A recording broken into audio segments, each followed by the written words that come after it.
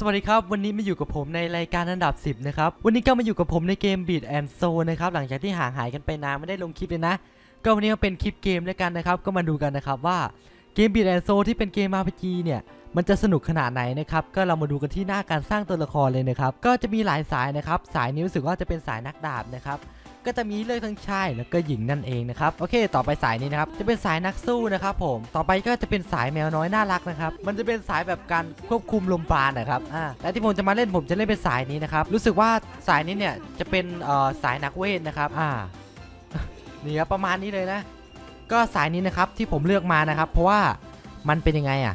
มันเป็นสายที่ดูสิครับสวยอเออมันเป็นตัวละครที่สวยงามเหลือเกินนะโอเค เราจะเลือกตัวละครสายนี้แล้วจะไปแต่งตัวละครกันนะครับ นี่ครับเริ่มมาแบบนี้ก็ perfect อยู่แล้วนะครับ เราสามารถเลือกรูปร่างแบบ original รูปร่างแบบ perfectไม่ใช่ดิ รูปร่างแบบเสร็จสมบูรณ์ได้จากตรงนี้เลยนะครับ แต่อย่างเรานะครับไม่ได้นะครับ ผมเกมนี้มันเกมที่เราต้องสร้างนะครับ เพราะงั้นเราต้องสร้างตัวละครของเราขึ้นมาด้วยตัวเองนะครับ เริ่มจากรูปหน้านะครับ ผมชอบหน้าแบบนี้สุดแล้ว กดมาก็เจอหน้าที่ถูกใจเลยครับ เอาหน้าแบบนี้แล้วกัน โอเค ต่อไปก็จะเป็นผิวนะครับ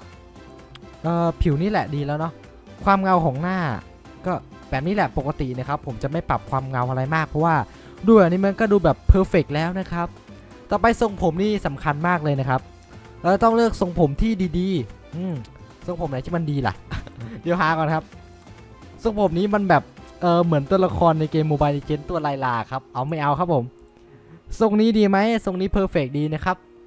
โอเคเราทรงนี้แหละครับ สีผมนะครับ สีดำมันก็ดูแบบเชยไปครับ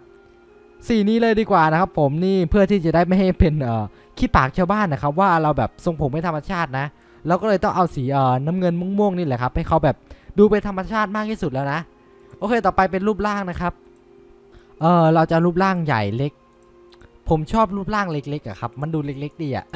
รูปร่างเล็ก ๆ มันก็ต้องเล็กอยู่แล้วดิโอเค แบบนี้เลย ต่อไปเออเป็นด่านที่สองนะครับเป็นใบหน้านะครับ โอ้โห ปรับได้แม้กระทั่งลักษณะของลูกตานะครับ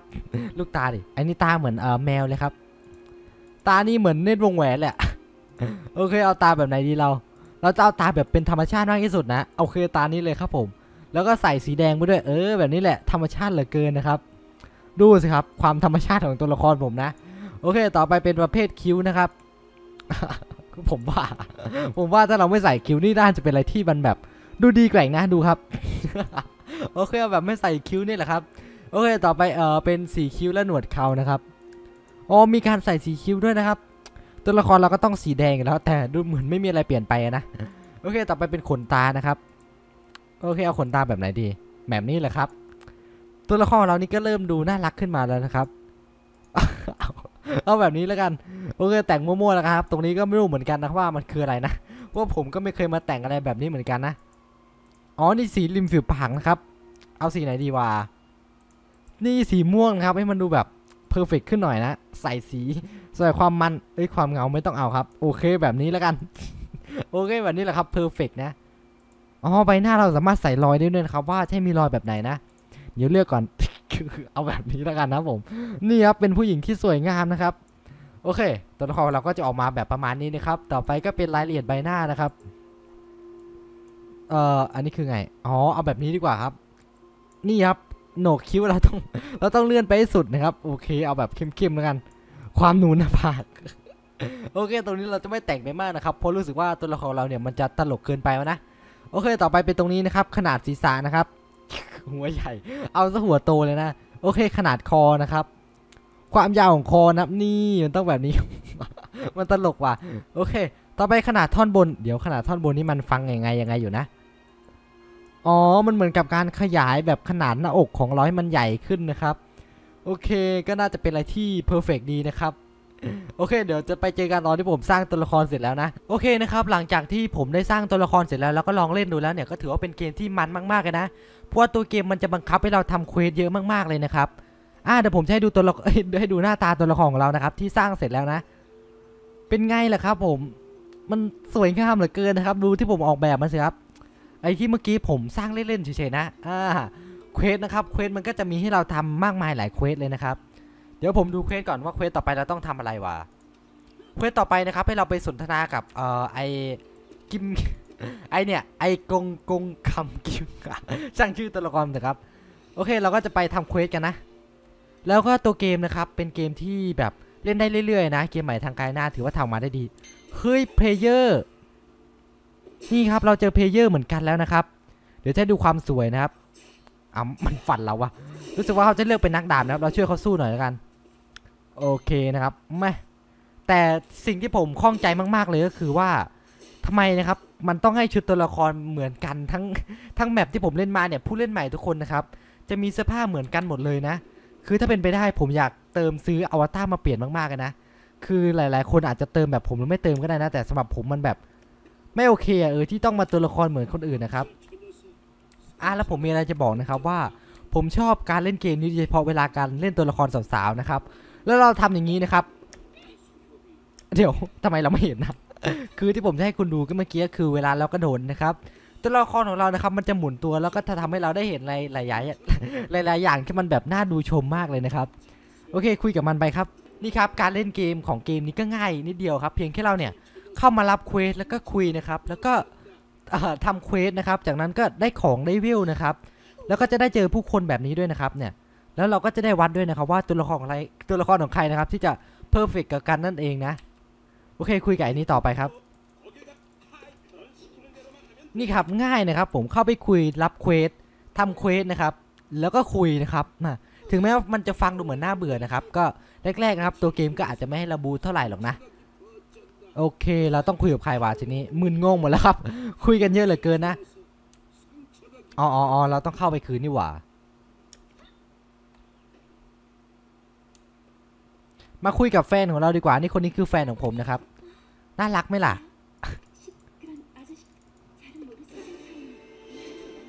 อ่าและอีกอย่างที่ผมจะบอกคือเวลาเวลอัพจะมีปีกขึ้นมาแบบสวยงามแบบนี้ด้วยนะ อ่าแล้วเกมนี้เป็นเกมเอ่อที่มีเนื้อเรื่องเป็นภาษาไทยนะครับ ซึ่งเนื้อเรื่องเนี่ย ผมข้ามไปหมดเลยนะ ก็เลยอาจจะอธิบายให้ทุกคนเนี่ยรู้ไม่มากเท่าไหร่นะครับอ่าแล้วที่ทุกคนควรจะทำอย่างยิ่งก็คือ การพิมพ์ด่าคนครับไม่ใช่นะโอเค เดี๋ยวเราจะลองพิมพ์ดูนะครับว่าจะขึ้นมายังไงอ๋อจะขึ้นมาตรงนี้นี่เองนะครับ เอ้ยนี่คนนี้ก็ level up ก็จะมีปีกนะครับ เดี๋ยวผมจะหาทางที่ผมเนี่ย จะเปลี่ยนเสื้อตัวละครของเราให้มันแบบดู perfect นะครับ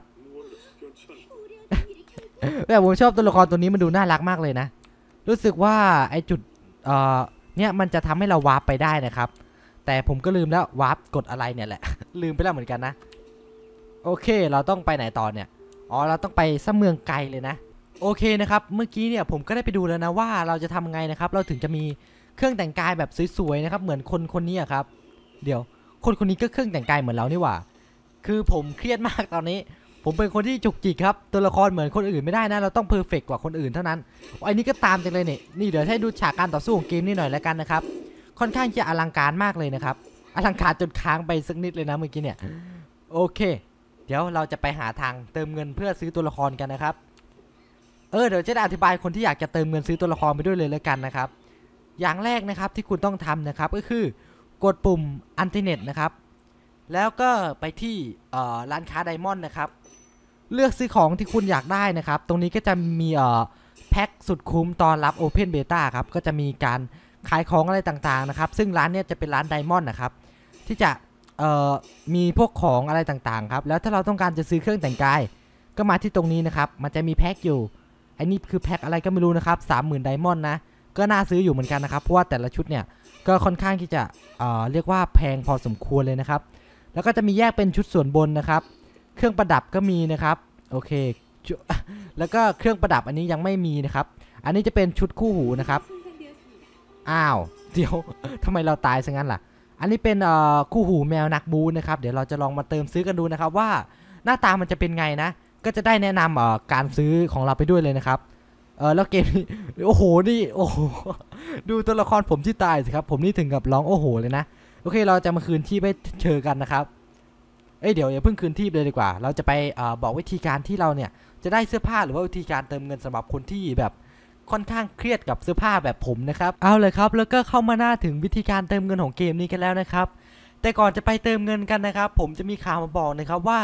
วันที่ 15 มิถุนายนนะครับ ถ้าคุณเติมเงินแล้วก็เติมเงินเข้าเกม Blade & Soul ครับ ในวันที่ 15 นะ แล้วก็เติมจากบัตร True Money ครับ จะได้ชุดแฟชั่นฟรีๆไปเลยนะครับ ก็ผมก็เลยเปลี่ยนใจนะครับจะไม่เติมวันนี้นะครับจะรออีก 10 วันนะครับในการรอเอาชุดแฟชั่นจากการเติมนั่นเองนะครับผมก็เดี๋ยวผมจะมาสอนวิธีการเติมสำหรับใครที่อยากได้ชุดแฟชั่นฟรีๆนะครับก็เข้ามาที่เว็บนี้นะครับเดี๋ยวผมก็จะใส่ไว้ใต้ description นะครับก็เป็นเเว็บการเติมเงินใหม่ของทางค่าย Garena นั่นเองนะแต่ก่อนที่คุณจะเติมเงินนะครับ คุณก็ต้องเติม Shell ก่อนนะครับโดยเข้ามาที่หน้าเมนูการเติม Shell นะครับจากนั้นก็เลือก True Money นะครับก็ทำไมผมถึงแนะนำ True Money นะครับเพราะว่า